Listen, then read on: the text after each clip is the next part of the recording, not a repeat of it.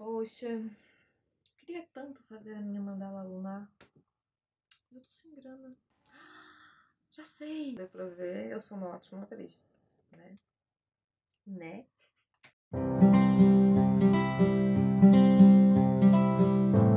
Bom dia, meninas!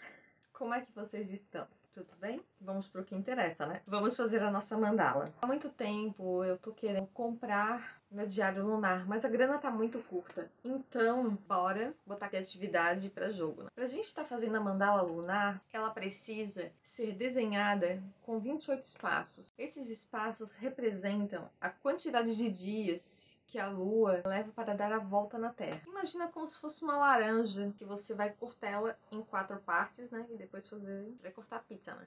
Não é a laranja, você vai cortar uma pizza. Na parte de cima, você coloca a lua nova, na parte de baixo, você coloca a lua cheia. À sua esquerda, você coloca o quarto minguante e à sua direita, o quarto crescente. E aí você vai desenhando as luazinhas. Se inscreve no canal se você está curtindo o conteúdo.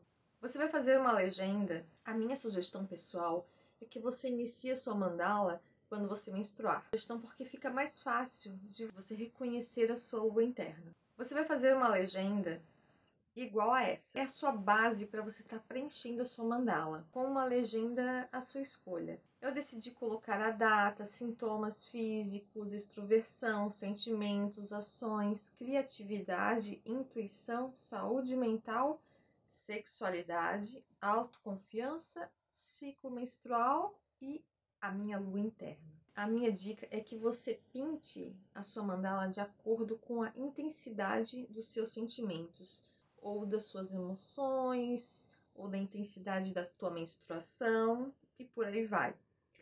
Aqui eu prefiro colocar a lua interna, pois é uma forma de estar compreendendo exatamente em que arquétipo eu estou. É, se você está na sua fase donzela, na sua fase mãe, feiticeira ou bruxa anciã. E a partir disso você sente a intensidade energética da lua externa, que amplifica a sua lua interna. Vou deixar um card aqui falando sobre isso. É bom lembrar que o seu ciclo pode variar, a sua lua interna pode mudar sim. E tá aí o poder do autoconhecimento e de você se analisar em cada período. Curtiu a mandala? Então dá um like, compartilha esse vídeo com aquela sua amiga que também tá sem grana e quer fazer a sua mandala e se inscreve no canal. Até o próximo vídeo. Tchau, tchau, meninas. Como dá pra ver, primeira tentativa ficou uma bosta.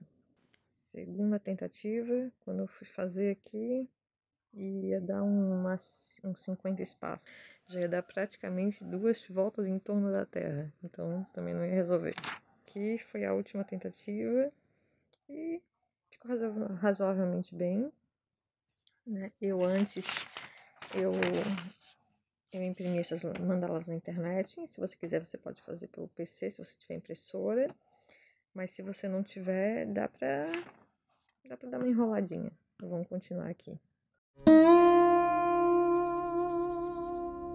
Música